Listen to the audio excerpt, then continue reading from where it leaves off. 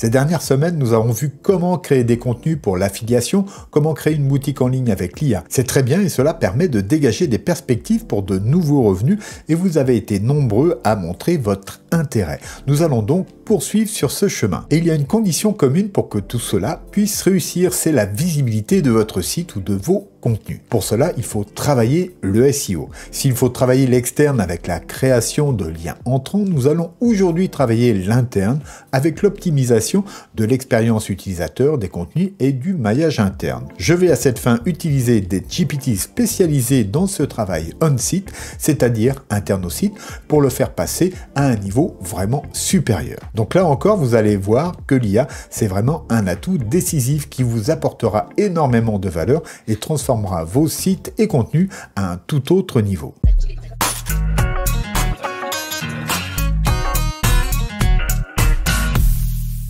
Alors juste pour vous faire voir la puissance de la chose, vous vous rappelez de la boutique de bijoux que l'IA nous a réalisé l'autre jour Eh bien pour déterminer la structure du site, je vais donner quelques informations à ce GPT.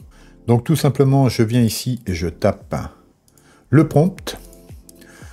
Voilà, c'est lancé. Donc là, il va commencer euh, par m'expliquer euh, cinq principes euh, fondamentaux qui sont importants dans la construction de mon site internet. Donc je vous laisserai lire, mais je reviendrai sur ce GPT avec son auteur prochainement, comme je l'indiquais. Et donc voilà, il m'a expliqué donc ces cinq piliers. Et donc à présent, je vais lui donner quelques renseignements complémentaires ici. Et ces renseignements, bah, c'est des précisions ici sur les bijoux de la boutique. Voilà, je les envoie et à partir de là, eh bien, il va euh, réaliser une carte thématique SEO. Et là, il y a des notions clés qui vous seront faciles d'appréhender après quelques explications de l'auteur. Euh, je lui laisserai la primeur sur ce point, mais en tout cas, vous voyez qu'ensuite il passe à un plan, une proposition donc de structure de site. Et évidemment, ça, ce n'est qu'une étape. On peut aller encore beaucoup plus loin derrière. J'y reviendrai, mais c'est une analyse déterminante et très pointue sur ce que, en théorie, Google attendrait d'un site tel que celui-ci. Un expert SEO mettra sans doute plusieurs heures à produire ce type de rapport. Alors ce GPT m'a été partagé par l'expert et consultant François Lamotte et nous ferons une vidéo dédiée prochainement sur son GPT. Il vous le partagera à cette occasion, donc abonnez-vous dès maintenant pour ne rien rater. Mais en attendant et pour la suite, j'ai lu très lourd et d'autres GPTs très puissants vous partager. Pour rappel, le site e-commerce que nous allons utiliser dans ce tutoriel a été créé avec l'outil IA de création de site web Hostinger, qui est aussi le sponsor de cette vidéo. Hostinger que je remercie vivement car grâce à lui et ses équipes, je peux créer plus de vidéos sur cette chaîne en restant totalement libre de mes sujets et de mes propos. Et c'est vraiment le moment de vous lancer actuellement car c'est encore le Black Friday et les grosses promotions chez Hostinger avec jusqu'à moins 85% de réduction et des plans d'hébergement qui débutent à 1,99 par mois. Vous aurez en plus 3 mois gratuits, un nom de domaine offert pour une année, une assistance 24 heures sur 24 et 7 jours sur 7, des sauvegardes hebdomadaires et une garantie de remboursement de 30 jours. Vous pouvez voir le détail de ces offres sur hostinger.fr slash Johan.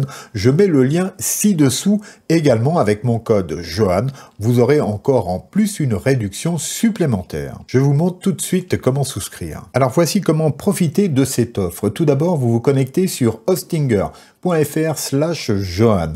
Ensuite, eh bien, vous arrivez ici sur cette page et vous pouvez voir qu'actuellement, vous avez moins 85% sur tous les plans d'hébergement. Alors, vous voyez que ça débute ici à 1,99. Là, sont mis en avant les deux plans suivants. Le premium qui est très bien pour un projet. Voilà, vous avez l'idée d'un site. Et si vous souhaitez plus de performance et de fonctionnalités liées à WordPress et à, la sécurité, eh bien vous pouvez opter ici pour le plan business. Alors, vous sélectionnez ici l'un ou l'autre de ces plans. Je vais prendre ici le business.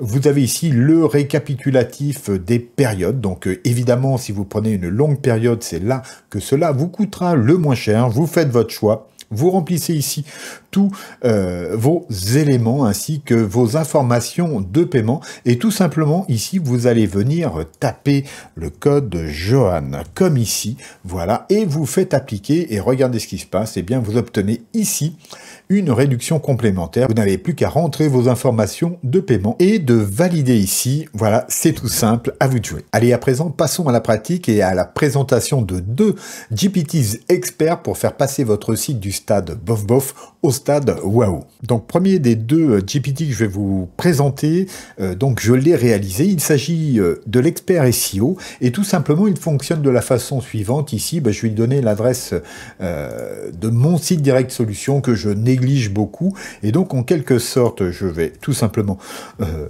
lui donner l'URL du site et j'en attends finalement des conseils pour faire évoluer mon site et le rendre plus performant en ligne. Et euh, donc, premièrement, il se connecte.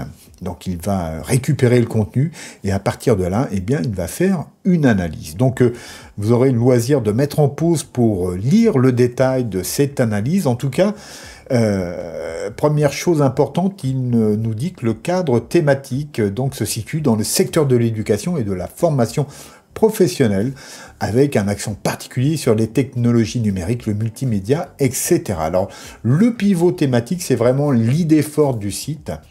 Et donc, c'est la formation et les conseils personnalisés en technologie numérique et en marketing en ligne. Donc, oui, c'est plutôt ça. Hein. Et donc, l'intention de recherche centrale, donc ça, c'est très important puisque c'est l'intention de ceux qui chercheraient le site. Et est-ce que ce site, finalement, y répond à cette intention? Donc, les utilisateurs cherchent à acquérir des compétences spécifiques et obtenir des conseils personnalisés pour améliorer leur performance professionnelle dans les domaines du numérique et du marketing en ligne. Donc là, déjà, je pense que ça me renseigne un petit peu sur mon site puisque euh, l'analyse dit que je parle beaucoup de marketing en ligne alors que je n'ai pas cette impression-là. Moi, en tout cas, que c'était pas mon but majeur. C'était plutôt l'utilisation des outils de la création de contenu et puis bien sûr, euh, voilà, du domaine du numérique au sens large. Mais voyez que donc je ne suis pas exactement aligné avec ma première intention. Donc ça, c'est la première chose. Alors là, ensuite, il va me donner une série de conseils qui, qui vont être euh, donc de développer du contenu Donc, pour développer le contenu clé autour du pivot thématique, il convient de se concentrer sur des sujets tels que techniques et astuces en web marketing et SEO, formation aux outils multimédia, conseils en visioconférence et streaming, développement de compétences en photographie et vidéo, formation en création de contenu, YouTube. Donc là, effectivement, on est bien dans le, dans le sujet. Il y a juste voilà, ce décalage avec euh, les astuces en web marketing et SEO. Euh, je ne m'étais pas orienté vers ça, mais ça ressort quand même. Bon, donc ça, il y a vraiment du travail pour moi sur ce site. Ensuite, il me propose des optimisations sur la structure. Donc la structure du site pourrait être optimisée en organisant le contenu en catégories claires basées sur les différents services et domaines de formation, une navigation intuitive avec des onglets ou des sections distinctes pour chaque domaine, donc le SEO, le multimédia, la visioconférence, etc., faciliterait la recherche d'informations par les utilisateurs. Effectivement, c'est vraiment une bonne chose à faire. Alors ensuite, il me parle d'optimisation et création de maillage interne. Donc là, ce sont des suggestions parce qu'évidemment, à ce stade, il n'a pas vu la totalité euh, du site, mais donc il me conseille donc de créer un maillage interne efficace. Donc euh, euh, avec par exemple une page sur les stratégies SEO pour inclure des liens vers des formations sur la création de contenu pour YouTube, etc., qui à son tour pourrait renvoyer à des conseils en photographie et vidéo créant ainsi un réseau interconnecté de contenu pertinent. Bon, voilà, mais ce sont des idées en tout cas. Et, euh, là, finalement, il me propose des pistes d'amélioration qui sont, un, amélioration de la navigation, il nous en a déjà parlé tout à l'heure, hein, en organisant le contenu en catégories clairement définies. L'ajout de contenu, donc intégrer des études de cas, des témoignages. Alors j'en ai quelques-uns, mais évidemment, euh, ils commencent à dater, et donc euh, j'aurais pu en rajouter d'ailleurs, hein, ce n'est pas fait. Et des exemples pratiques dans chaque section pour enrichir le contenu. Euh, ensuite, il me conseille d'optimiser le titre, utiliser des titres accrocheurs et des mots-clés pertinents pour chaque page ou article pour améliorer le référencement. Eh bien, effectivement, la plupart de ces conseils, vous voyez, je, je devrais les suivre, et, et euh, donc vous-même essayez euh, ce GPT, l'expert SEO, sur vos sites et vous pouvez aussi cibler des pages internes de votre site, hein, bien sûr, mais euh, généralement on commence par la page d'accueil et vous verrez qu'il vous donnera certainement une, une analyse assez intéressante à lire et quelques conseils sympathiques. Alors, ça, c'était le premier, on passe au deuxième à présent. Juste un instant pour vous dire que dans les prochaines semaines, il y aura des vidéos à ne surtout pas rater. Alors, pour être prévenu, abonnez-vous. Et pour m'aider à produire plus de vidéos et soutenir mon travail ici, merci de cliquer ci-dessous sur le pouce vers le haut, de vous abonner si ce n'est pas encore fait et d'activer la cloche qui vous préviendra des prochaines publications. Et si vous pouvez partager cette vidéo sur vos réseaux, ce serait vraiment génial.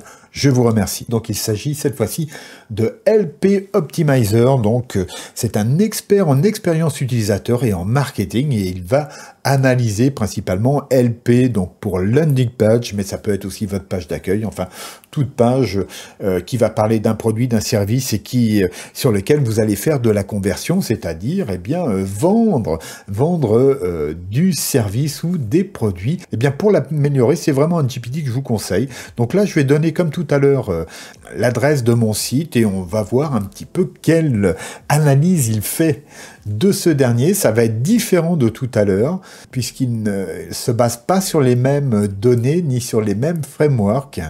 Donc on va le laisser travailler, mais en tout cas voilà, on a une analyse donc de la clarté du message.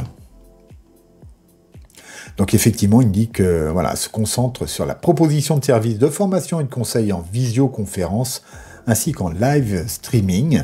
Ensuite, il y a le design. Donc, il le trouve simple et épuré, euh, favorisant une euh, navigation aisée. Cependant, l'expérience utilisateur pourrait être améliorée en rendant la page plus engageante euh, visuellement. Effectivement, c'est pas d'un design très très recherché et ça, je je pourrais facilement l'améliorer. Cette affaire, c'est dans ma liste des choses à faire. Et donc ensuite, on a les contenus et propositions de valeur. Et donc là, on a les caractéristiques des services euh, qui sont mentionnés, mais les avantages et bénéfices pourraient être mieux mis en avant. Par exemple, en soulignant comment ces services de formation en ligne peuvent économiser du temps et de l'argent pour les clients ou comment ils peuvent être personnalisés pour répondre à des besoins spécifiques. Bien, c'est tout à fait juste et effectivement, ce n'est pas assez mis en avant. Ensuite, on a un petit conseil donc euh, SEO ici. Donc, euh, il nous dit que la, la, page semble être optimisée pour le mobile.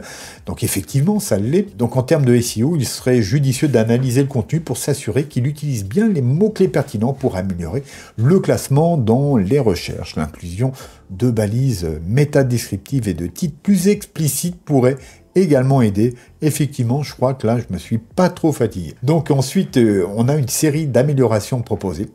Et donc, euh, parmi celles-ci, on a l'intégration de vidéos et d'images. Donc, euh, effectivement, vu, qu'on, vu que j'en parle et que je préconise leur utilisation, ça serait peut-être pas mal d'en faire. Ensuite, de mettre des témoignages clients visibles. Alors, il se trouve qu'il y en a. Alors, est-ce qu'il ne les a pas vus ou qu'il trouve qu'il n'y en a pas assez? Bon, ben, voilà.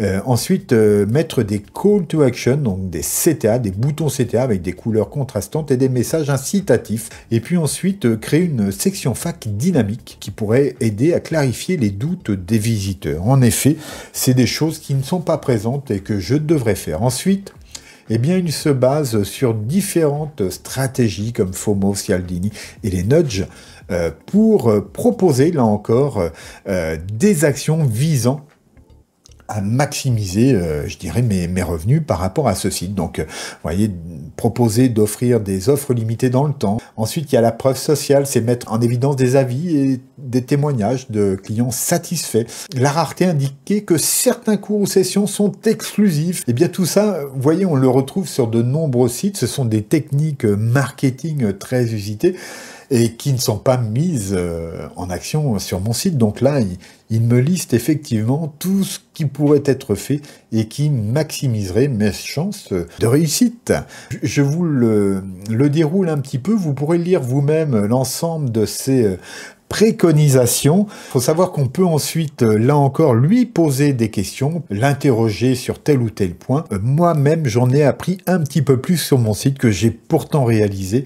Euh, là, j'ai toute une liste de choses que je vais pouvoir faire dans les prochaines semaines et maximiser aussi les revenus qu'il pourra générer. Ce n'est pourtant que le début, mais nous nous rendons compte que certaines expertises sont directement accessibles via l'IA de OpenAI et que cela a une énorme valeur, surtout si nous le mettons en application rapidement. Alors j'apprécie énormément avoir vos retours en commentaire et si vous avez des idées de GPT à développer, je vous y attends euh, ci-dessous donc pour en parler. Pour poursuivre et aller plus loin avec cette GPT, je vous propose juste après sur l'écran de fin une vidéo qui vous permettra de créer les vôtres très facilement, sans code, et je vous y retrouve tout de suite. Abonnez-vous, likez, partagez cette vidéo, je vous dis à bientôt, gardez-vous bien, au revoir.